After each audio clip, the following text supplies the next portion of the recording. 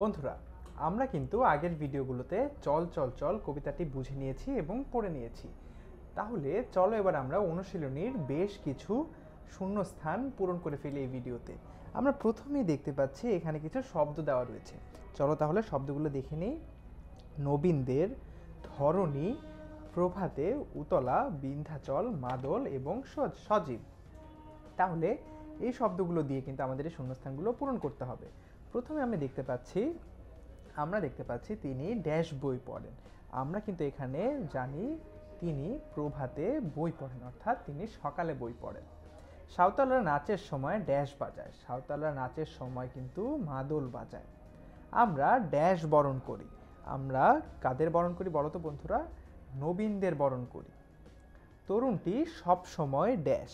আমরা জানি তরুণটি সব সময় কিন্তু সজীব। ড্যাশ খুবই সুন্দর, অর্থাৎ ধরণী বা পৃথিবী খুবই সুন্দর। মা সন্তানদের জন্য ড্যাশ হয়েছেন, মা সন্তানদের জন্য উতলা হয়েছেন। এই যে দেখো, আমরা বসিয়ে দিলাম। ড্যাশ একটি পর্বতের নাম, বিন্ধ্যাচল কিন্তু একটি পর্বতের নাম।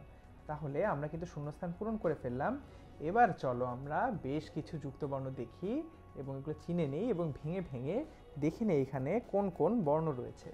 আমরা এখানে দেখতে পাচ্ছি ঊর্ধ্ব শব্দটি যেখানে ধয় বয় রেফ এই যুক্তবর্ণটি রয়েছে। এটিকে ভাঙলে কিন্তু আমরা ধ ধ ব এবং রেফ এই যুক্ত, এই বর্ণগুলো পেয়ে যাচ্ছি।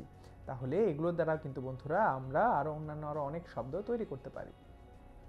আমরা এরপরে কিন্তু দেখতে পাচ্ছি নিম্ন শব্দটি, যেখানে আমরা ময়, ন এই যুক্ত বর্ণটি দেখতে পাচ্ছি।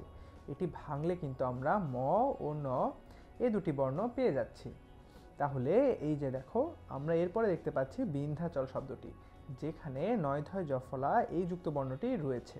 এটিকে ভাঙলে কিন্তু আমরা দন্তের ন, ধ ও জফলা এই যে দেখো চলে আসছে, এই যে এই বর্ণগুলো পেয়ে যাই।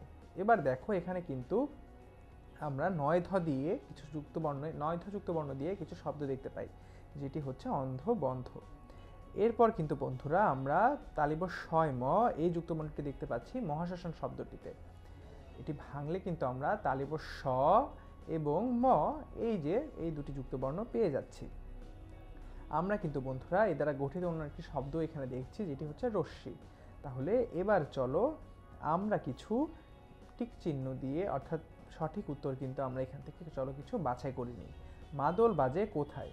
ঊর্ধ্ব গগনে ধরণীতলে উষার দুয়ারে, মহাশ্মশানে। আমরা কিন্তু জানি ঊর্ধ্ব গগনে মাদল বাজে। এরপর আমরা দেখতে পাচ্ছি বন্ধুরা, প্রশ্নটি হচ্ছে, অরুণ প্রাতের দলে কারা আছে? শিশুরা, কিশোররা, তরুণেরা, প্রবীণেরা? আমরা জানি তরুণেরা রয়েছে। অরুণ প্রাতের দলে তরুণেরা আছে।